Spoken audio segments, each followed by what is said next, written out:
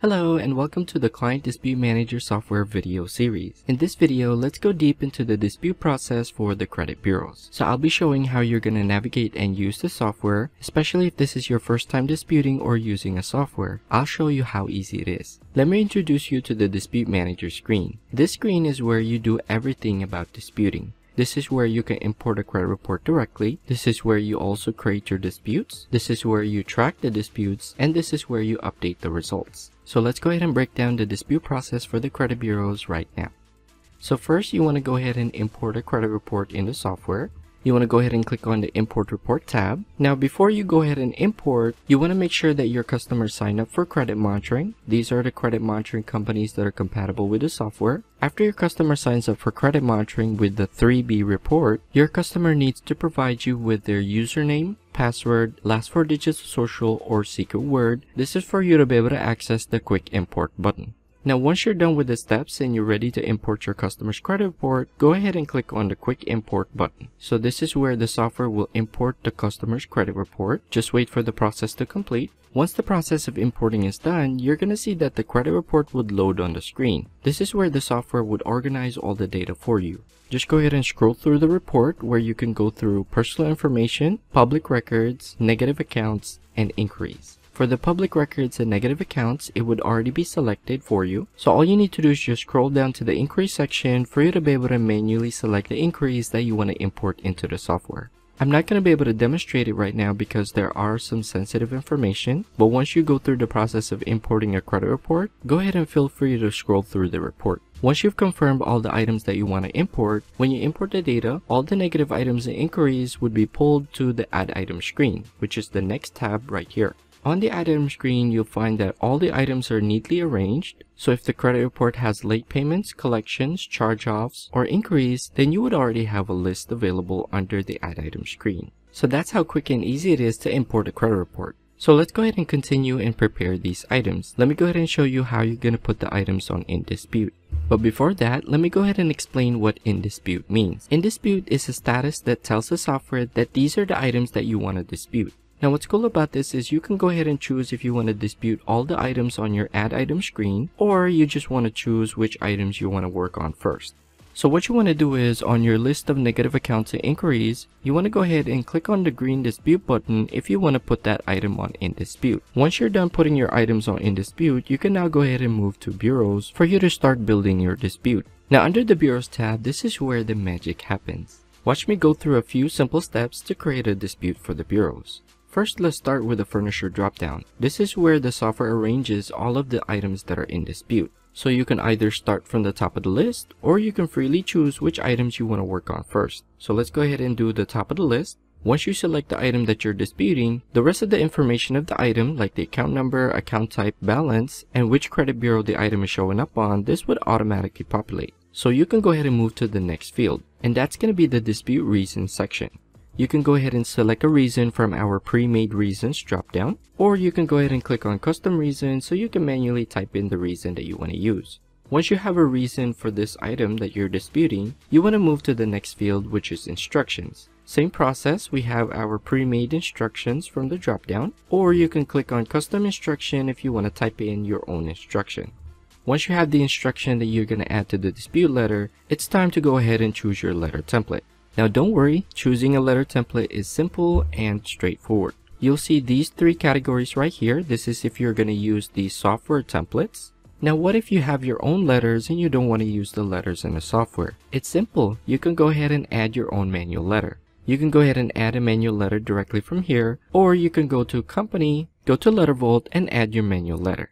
Now once you've added your manual letter, Selecting that letter to use for the dispute is very easy. All you need to do is just put a check mark on manual letter and that's going to give you access to the manual letter dropdown where you can choose your own letters. Now what if you don't have your own letters? Go ahead and use the letters that we have in the software. So let's talk about these three categories. First you have dispute flow. If you're new to disputing and you don't know what letter to choose, dispute flow would be your best friend. Dispute flow is a sequence of letters. You just need to start from letter 1 and work your way down to letter 6. Next, you have campaign letters. Campaign letters are account type specific letters. So if you're working on a certain account type, let's say collections, you can go ahead and choose a letter from here. Now for campaign letters, each letters will be different. Now unlike dispute flow, campaign letters are not in sequence. Campaign letters would give you different letters with different verbiages. So how do you know what letter to choose? All you need to do is just select the letter and then you can click on the eye icon to preview the letter template. So all you need to do is just choose the letter that works for your dispute. Hi there, we're giving you a free gift. You can get 20 powerful dispute letters just by clicking on the link below this video. You're gonna see a screen just like this, and all you need to do is just fill out the form to get your 20 powerful dispute letters. Enjoy!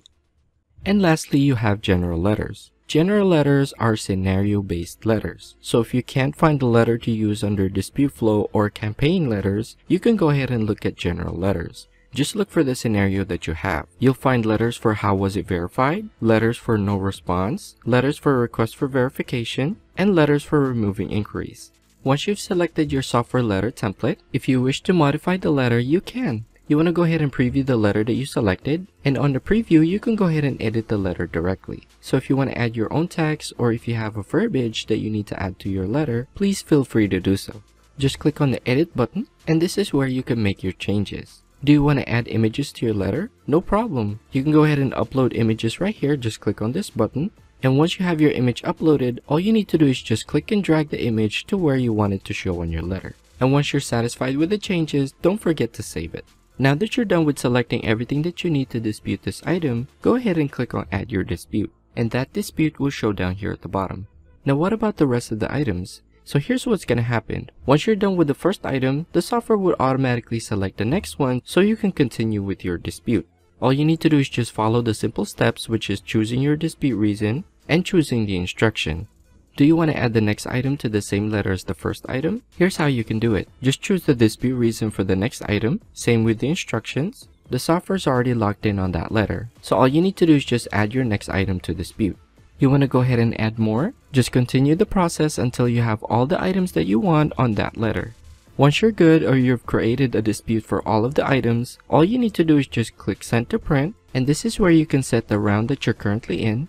You can also choose the set. This is if you're disputing the items in batches. Let's say there's a total of 30 items that you imported and you want to go ahead and dispute the items in batches of 10. You can go ahead and put the first 10 on set 1, the next 10 on set 2, and the remaining 10 on set 3. This is for you to be able to easily manage those batch of items when you need to move to the next round. And then lastly, you have the follow-up letter due. These are the number of days that you're gonna wait before you check for updates and results. That's when the software will notify you that the letters are due for follow-up. Once you're done, just click on save.